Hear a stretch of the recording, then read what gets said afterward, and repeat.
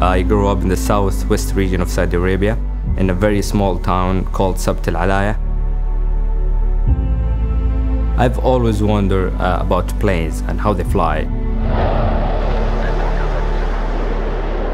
Back then in Saudi Arabia, we did not have a lot of places or uh, flying academies you could apply to. So I have to go and find a place that could train me. That's why I applied for the Air Force Academy to be a fighter pilot. The best moment for me is when, once I hit the throttles in full AB and the aircraft start rolling down the runway. And as I take off, I watch my shadow and see how fast I'm going. That gives me a joy that I cannot describe.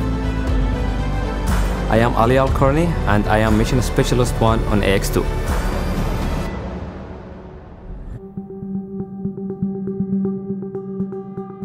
Being selected to be part of this mission make me privileged and honored to represent my country. I was really surprised about the results out of the announcement. People are loving it. People are super supportive of the mission. I consider myself a newly married. I've been married for three years now. And uh, I've had my daughter, she's 12 months old. And I want to share with them how big it is what I'm about to do. It is an amazing opportunity to be on top of a rocket uh, filled with, with fuel and, and gas that are gonna boost you to space.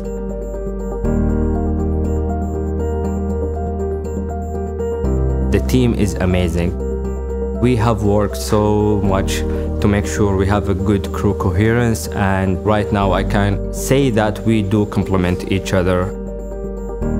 Every single one of us has been trained to do everything regarding this mission. I would like to thank Axiom Space for enabling us uh, to go back to space and giving us this opportunity. I have an amazing uh, family. They are supportive of me throughout my career, and I want them to know before I step into the rocket that I love them and I will always be there, uh, whether physically or mentally, uh, with them, and I'll do whatever it takes to make them feel happy and loved.